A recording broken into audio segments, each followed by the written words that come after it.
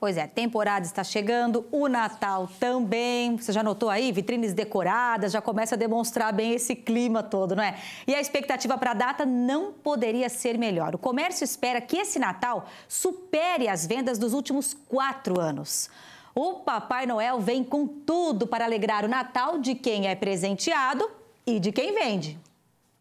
O bom velhinho já está na prateleira. E nessa loja as árvores são vendidas montadas. Os pinheirinhos decorados são os mais procurados pela clientela. Um enfeite aqui, uma decoração ali. Não tem como resistir.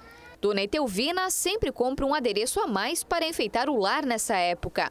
É, eu vim comprar pinheirinhos, enfeite de Natal, né?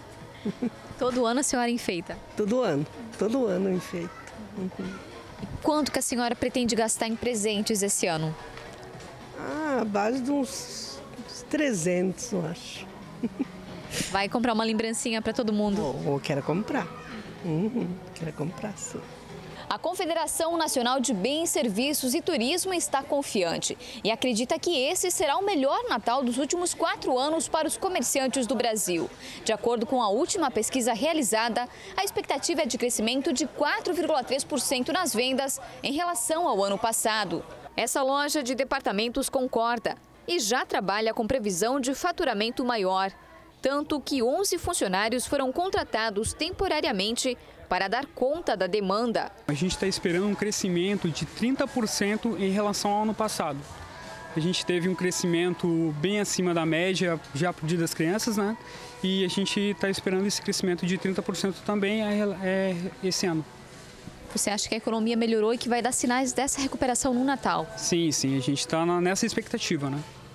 Qual que é a média de compras em relação aos clientes? Quanto que eles devem gastar? Então, eles estão gastando na média de 200, 300 reais. A gente tem árvores de 29, 39, 99, né? Aí com, a, com os, as decorações e todos os enfeites, né? Então, vai nessa junta, então a gente espera esse crescimento também. O momento é favorável para quem está em busca de recolocação no mercado de trabalho. Segundo a FEComércio, 46% das contratações devem acontecer ainda no mês de novembro.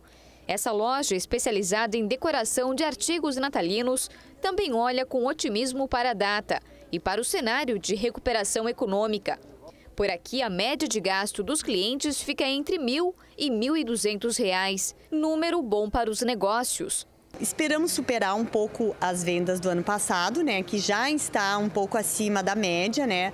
Uh, o mercado ainda não aqueceu para o Natal. O aquecimento geral acontece agora no mês de novembro e a gente espera uma clientela um pouco maior que a do ano passado. Mas a expectativa está sempre dentro dessa média, né, nunca para menos, sempre para mais.